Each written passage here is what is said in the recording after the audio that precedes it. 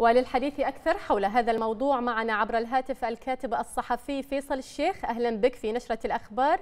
وبداية كيف تابعتم الكلمة السامية لجلالة الملك المفدى في افتتاح الدورة الثانية والأربعين للقمة الخليجية؟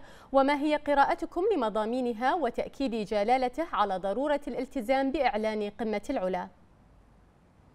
طبعا في البداية أنتهز الفرصة لأرفع أسماء التهاني والتبريكات. المقام السامي لحضرة صاحب الجلالة الملك حمد حفظه الله ورعاه بمناسبة العيد الوطني الخمسين وعيد الجلوس داعيا الله أن يحفظ جلالته ويحفظ البحرين وشعبها ويكتب لنا الأمن والخير الدائم في ظل العمل المستمر على كافة الأصعدة بقيادة صاحب السمو الملكي الأمير سلمان بن حمد ولي العهد رئيس مجلس الوزراء حفظه الله. طبعا نتحدث عن الكلمة السامية لصاحب الجلالة في في القمة الخليجية آه، وطبعا مضامينها شملت العديد من المحاور الهامة.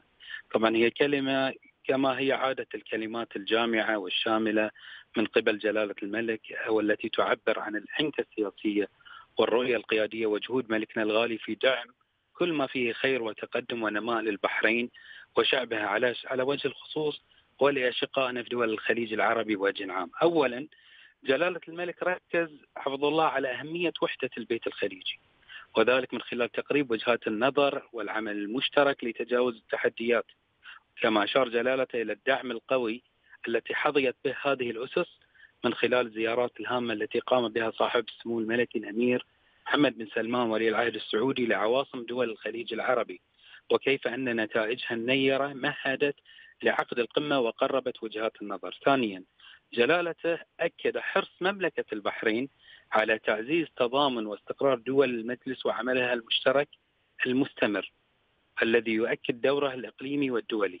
طبعا ذلك تمثل من خلال رئاسة مملكة البحرين للدورة الحادية والأربعين وحرصها على عقد الاجتماعات الخليجية الدورية في إطار تنفيذ العمل المشترك. ثالث الأسس اللي أكد عليها جلالة الملك الله يحفظه أهمية الالتزام بمضامين إعلان العلا.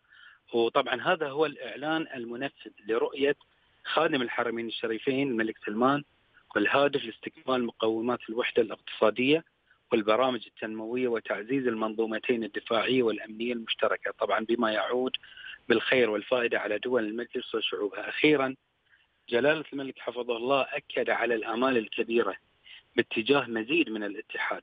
طبعا هذا الاتحاد الذي هو الضمانة لمواجهة تحديات المستقبل وتحقيق آمال شعوب الخليج العربي.